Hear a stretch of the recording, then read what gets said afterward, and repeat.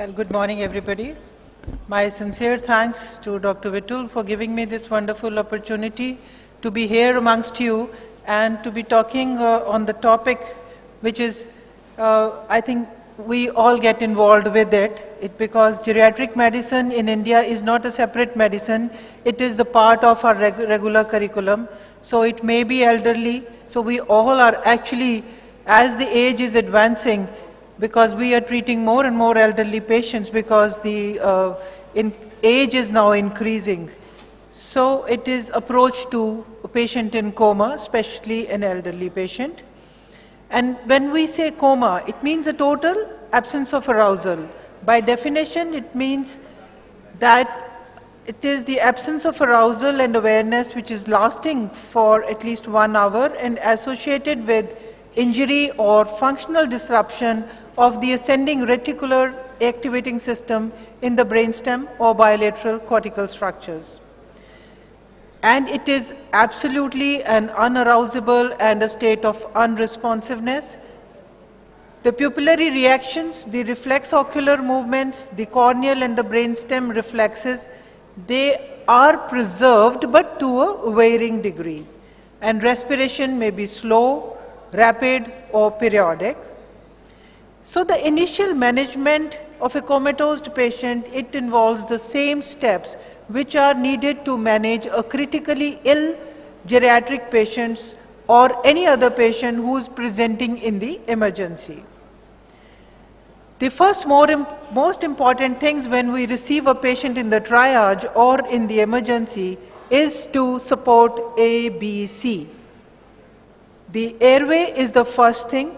So immediately if the patient is gasping or if the patient is res respiration is SpO2 is less and you think that the patient needs a ventilator first of all you know you need to support the airway first of all. Have a look at it. Does the patient needs a support to the airway? If he doesn't it's okay. But if he needs breathing is the first thing which needs to be established. Because he may have aspirated and immediate suction by the endotracheal intubation and of course the ventilation if required. Then is the, the to correction of the shock. Then you have to see for the cardiac. If the patient is in shock, second step is immediately you take an IV access and then you have to ascertain the cause of the shock quickly. Is it hypovolemic, rush in the fluids, uh, and simultaneously you start the inotropes. And now this is the time that you start taking the history regarding the cause, the time of unconsciousness, any history of trauma, tra history of the past diseases, which is very, very important. Why I put the history in the later in the position because first thing is to support the airway, the breathing, and then now we have an IV access, and now we can, you know, now this is the time to actually get to the patient. If trauma has occurred, you have to check for the wounds, for the bleeding, for the head, or for the head injury. Quick look at the abdomen if you feel a liver or spleen could have been ruptured. A quick ultrasound examination is also a part of the, in the emergency uh, to rule out any, any uh, um, hydrothorax or to rule out any fluid in the abdomen and also to look for the cervical spine injury. And also now most important in our area of the Punjab you, we all encounter intoxications. Most of our patients when they can't breathe our first diagnosis is actually a drug abuse that is most of us, I think you all agree with me, whenever you think the patient is gasping, he's not breathing properly, we know either it's a pookie or an opium or a multiple drug abuser or a IV heroin or something that the patient has taken. Now, considering the age, that, that is how you will come to your diagnosis. If it's an old patient, maybe not an IV heroin, maybe opium, or if it's a case of drug intoxication.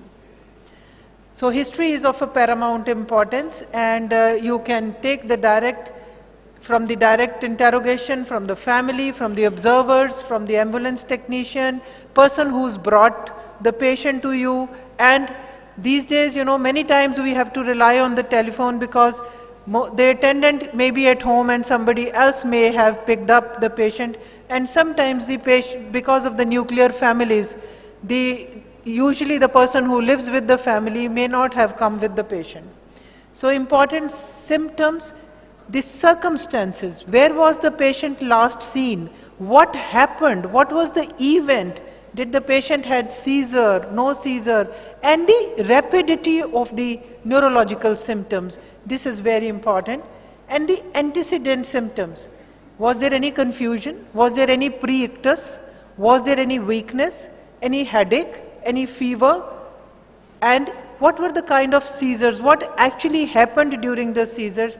I often tell my patients, you know, you make videos of everything, so it is most important is to make a video of how did the patient pass out at that time and eh, make a video of the what was happening at that time was it a seizure or not a seizure and then the medications which are extremely important you know uh, the abusing Uh, drugs and the alcohol and opium is separate but whatever medications a geriatric patient had been taking because I think today I know of no patient who will come to you and had not been on any medication and he's an old patient. Considering the incidence of diabetes and hypertension, the incidence of anti-diabetic medications, patients going into hypoglycemias, and patients on chlorthalidone or on hydrochlorothiazide coming to us with severe hyponatremias and metabolic encephalopathies.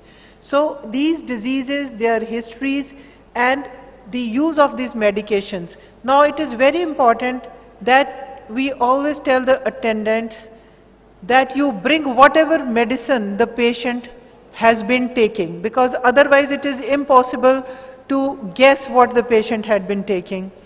I had a young boy, eight-year-old boy who was brought unconscious. This is apart from the geriatric uh, medicine which we are discussing. The patient was unconscious. Looking at it, we did got the blood sugars done, which were 30. The patient is a non-diabetic, 80-year-old child. What is happening? I told them, you bring, what, were you giving any medication? Yes, the child was having uh, nocturia, enuresis. The doctor had put him on medication. Bring, bring the medication to me. The doctor had prescribed him Depsonil, but the chemist had those days given him Daonil. So the child had gone into hypoglycemia. So ask the patient or the attendants to bring the used or the unused medications with them or even if they have the, you know, the prescription from the doctor, if we are able to read the prescription, sometimes we may not be able to read. So uh, then is the emergency test. We are right now standing in the emergency. We have just stabilized the patient and we have just taken the history. We've just done the breathing and the IV access. Now what next I want to do? The three tests I want to do rapidly in the emergency is the blood sugar, ABG and electrolytes. These are the most important tests which I would want to do in the triage, in the emergency at that very moment because correction of hypoglycemic coma is so wonderful, so rewarding. And similarly is the correction of hyponatremia or hypokalemia. And then hypoxia. Also, we have been now basically all COVID trained and we know that oxygen therapy or the correction of hypoxia is, is so much needed and it is, it is the, you know, so much required immediately. And the patients who been taking IV heroin or IV uh, or use of opium, naloxone, once the, you have stabilized the breathing, can help us for the patient to rapidly come out of the overdose. And in alcoholics, thiamine does help them to come out of the Wernicke encephalopathy. So the cause of unconsciousness can be a convulsor, can be a convulsion, which may be a non-convulsive seizures, and then of course now we are, we have been taken the history, now we are at the physical examination. Look for any bitten tongue, urinary incontinence or elevated CPK, um, CPK NAC. This may happen in a seizure. So the presence of small clonic or myoclonic convulsive movements, status epilepticus, or the patient had had a non-convulsive status or a spike wave stupor which may be the cause. The patient, you know, sometimes the, the thing is they, uh, the convulsion may not have been observed by any, but then a Todd's paralysis, then you wait for some time and see if the patient is coming out of it and how long the patient is taking to come out of it.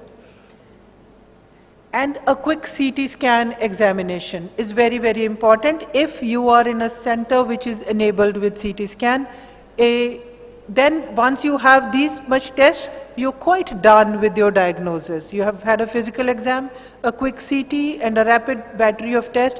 By this time, you will be able to reach your conclusion. You know, all this time you had the differential. Now you, you are very nearing the diagnosis, correct diagnosis. So then we have to just, because we need to differentiate whether it's a metabolic cause or it's a structural cause. So metabolic cause, of course, as we just been discussing, it is just going to need supportive care. And then if there are infections, our, then most important to after metabolic is the structural causes. There may be SOLs in the brain. That's why I said a quick CT scan, because CT scan doesn't take longer. It just takes three minutes to do a CT if you are in a facility which is enabled by a CT scan. So it will give you a quick diagnosis if is there a surgical cause, was there a bleed, was there a chronic subdural hematoma, is there a subarachnoid hemorrhage, is there a tumor, is there a hemorrhage in the tumor. So these are the things we will come to know immediately. And now uh, the first thing as we were talking about the metabolic causes, I've already said, you know, in our area in Punjab, we all are practicing here and we all encountered IV heroin, chitta, smack, alcohols, barbiturates, sedative drugs, opiates, pookie, organophosphorus every day. And uh, this also, if it is a spray poisoning or organophosphorus uh, or non-organophosphorus. These days we've had different kind of suicidal poisonings, you know. Paraquat is coming now more and more uh, using, people are using it more and more and patient may present to you with paraquat poisoning as well. So the uh, metabolic disturbances, now we have diagnosed, is it hypoxia, is it CO carbon monoxide poisoning? Uh, I, I think we all are also aware with the gas geyser poisonings also because in Punjab there is a rampant use of gas geysers which we all have been time and again telling all the media rather than to put any negative news, why don't you make the patients aware about non-use of gas geysers because they really kill people so fast that the person in the washroom does not get time to unbolt himself or to even change himself. The hypoxia at that time and the carbon monoxide, it is the rapidity to which the, it kills, I think it is the fastest. Because the moment they break open the door, the patient is already brought dead to the hospital. And the only lucky ones, if they are able to come to the hospital, they are 100% survivals because they are out of that environment and then you give them oxygen and you treat them, so that's 100%. So the credit of gas geyser treatment actually goes to the attendant who is quick to recognize and bring the patient quickly out of the washroom.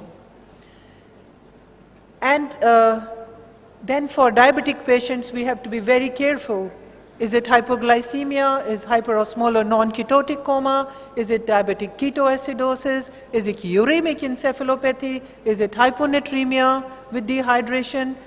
And many of our patients actually had been abusing steroids. And then, because they are steroid abuser, they go to the consultants and all of them, all of us, we tell them, oh, why are you taking steroids? The, they're taking on their own you are abusing steroids. So they suddenly would stop using steroid and they go to extent of going into Addison's crisis, which is iatrogenic, and then profound nutritional deficiency. Heat stroke, I think for last five, six years, we haven't seen any heat stroke patients in Punjab, but five, six years, I, I think around 10 years back, when there was this heat wave, heat strokes were very, very common. And they were especially common with the people who were coming from abroad, directly taking the flight and then coming on the way by the bus, on their halfway through into the bus, they were falling, uh, getting dehydrated, and they were get, uh, you know, getting unconscious with the heat strokes. Well, thyroid status also needs to be checked because it includes Hashimoto's encephalopathy. Hepatic causes, Wernicke's encephalopathy due to severe alcoholism. It is again, you know, where the patient is. Uh, the patient could be agitated, the patient could be unconscious because of a severe, you know, he's recently abused so much of alcohol, then he's coming out in an agitated state, then he is going into hepatic encephalopathy. And one big cause, cause which I have recently realized, you know, severe constipation in the Pukki patients or in patients old age, when they have severe constipation, like for three, four days or they have been operated, we've been checking their ammonia levels and even simple constipation, ammonia level goes high and they've been going into unconsciousness. This uh, we have also realized that if you're not able to find anything, do check their ammonia levels. It may be a female which probably been constipated and now she's gone knee surgery and you are called by the orthopedician why the patient is gone unconscious, the CT is normal, blood pressure is controlled, diabetes is controlled. What cause came out was the hyperammonia and the deranged sensorium because of that. And as we've already said, now the infections, you know, they're very, very common. CT may be normal, but then now you think, you know, you are in the next, your all investigations were normal, you got a count which is slightly higher or maybe normal, but now you need to do a lumbar puncture, CT is normal, so you may be now encountering a patient of a bacterial or a viral or a fungal meningitis or a typhoid encephalopathy or a cerebral malaria or septicemic or viral encephalopathy or a neoplastic or paraneoplastic meningitis. Now, uh, structural causes, CT scan gives you a wonderful information about all the structural causes for the head trauma, for the hemispherical hemorrhages, for massive infarctions, for old infarctions, for a brainstem infarction, for brain abscesses, subdural empyema, epidural, subdural hemorrhage, brain contusion, as cerebellar and pontine hemorrhages, or subarachnoid hemorrhage, a ruptured AVM or a ruptured aneurysm, the uh, CT scan, and MRI may be further, it is if, if required, but otherwise for the patient you receive unconscious. So, so much of information has been given to you by within five minutes by the CT scan. So that's the, what is the role of the vital signs, you know, never forget we say as a clinician what is most important was the history, the general physical examination and the vital signs. They are most, most important because they give you so much of information. You make your quick diagnosis because of the vital signs. Hence, it is very, very important an accurate core temperature. Only then you will be able to see it's hypothermia or it is stroke. Now, the cause of hypothermia could be a severe sepsis. You know, old patients, no fever. The patient still may be septicemic. Hypothyroidism, or a patient who is having hypoglycemia may be cold and clammy. And the patient who's brought to you, maybe not in Punjab, or in a very, very cold weather, we did have been receiving beggars from the road who are brought unconscious and they are severely suffering from hypothermia. And if the patient is hyperthermic, uh, if the temperature is more than 40 degree, hyperpyrexia may be suggestive of CNS infection, septicemia, a serotonin syndrome, a neuroleptic malignant syndrome, heat stroke, thyrotoxicosis, or even exposure to certain toxins such as salicylates, anticholinergics, sympathomimetics. I think all of us have a lot of experience using anticholinergic drugs, atropine, in our organophosphorus poisoning and we know that all of these patients, we stop the atropine or we decrease the atropine when once the patient is fully atropinized and a temperature is one of the indicator when we want to decrease the dose or stop the use of atropine in our treatment of OP poisoning patients.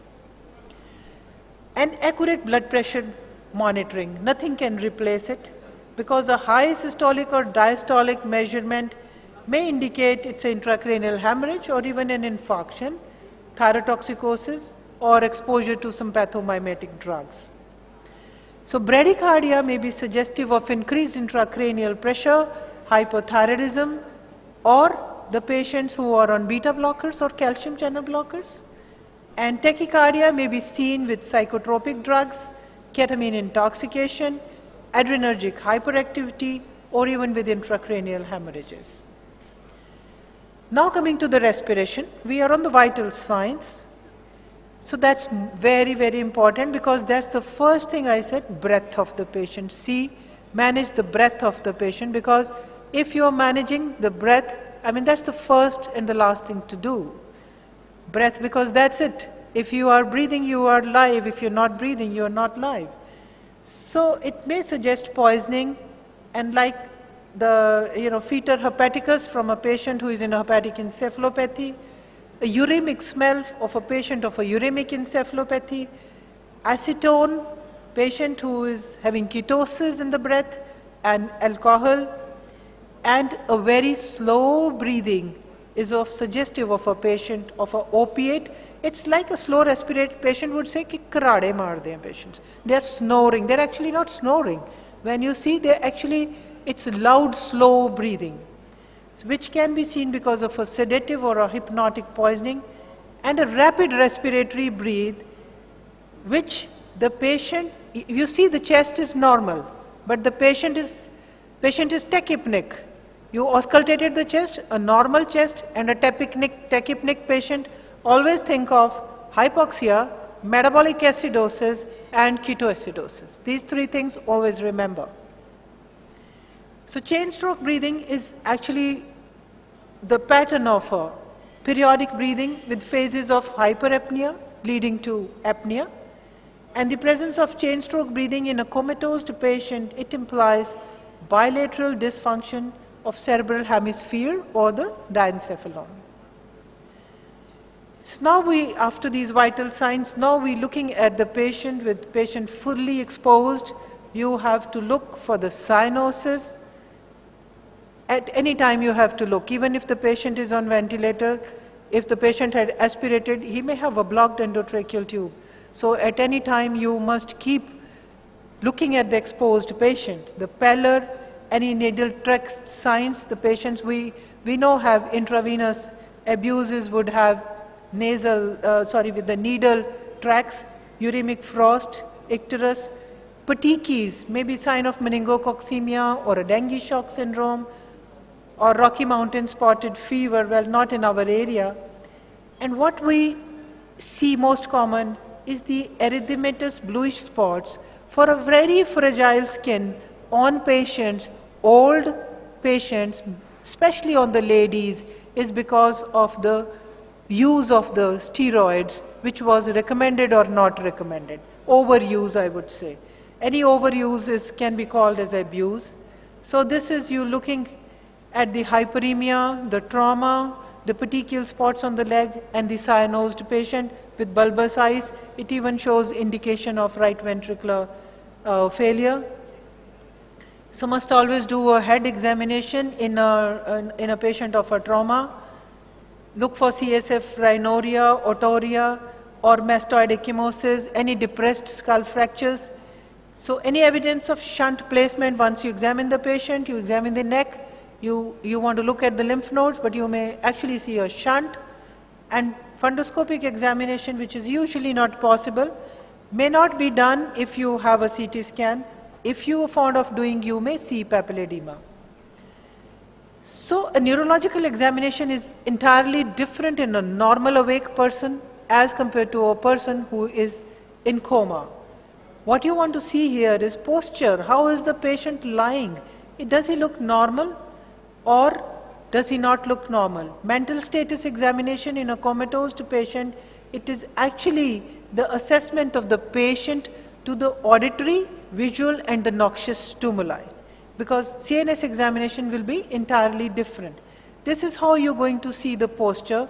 The posture, the, that is the extension posturing that we call a decerebrate rigidity. It is the, patient, the whole of the body is lying in a position of opisthotonus.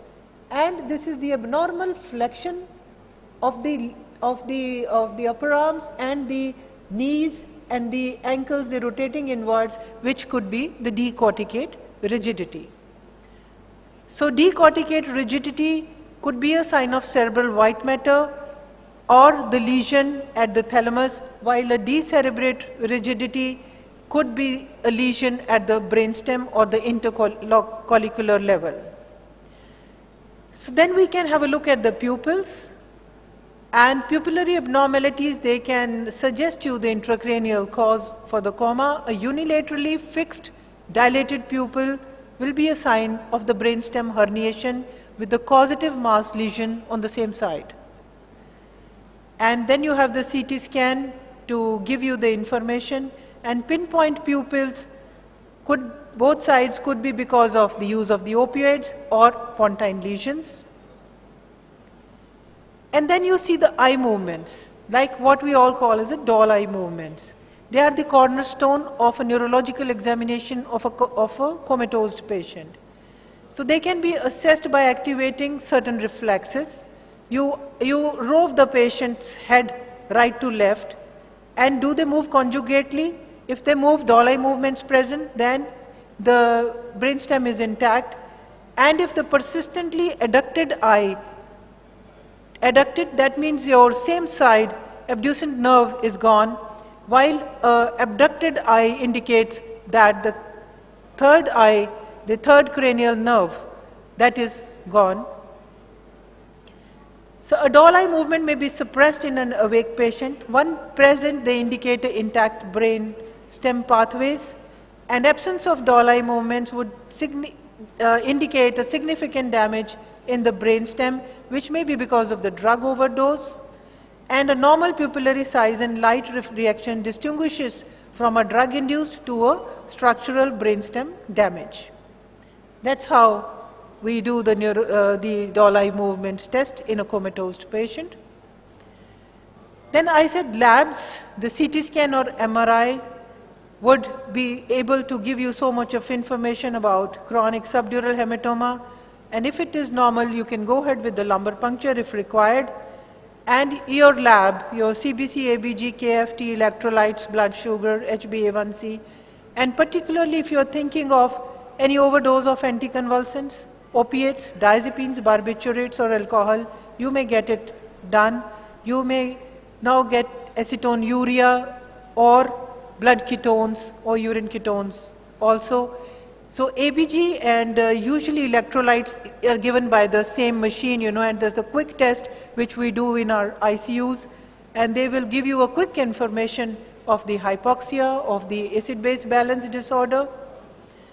So bilateral hemisphere infarction, acute brainstem infarction, encephalitis, meningitis, mechanical shearing of axons, or closed head trauma, or sagittal sinus thrombosis, or a subdural hematoma which is isodense or adjacent to brain, these are some of the disorders that may not be picked up by the CT scan.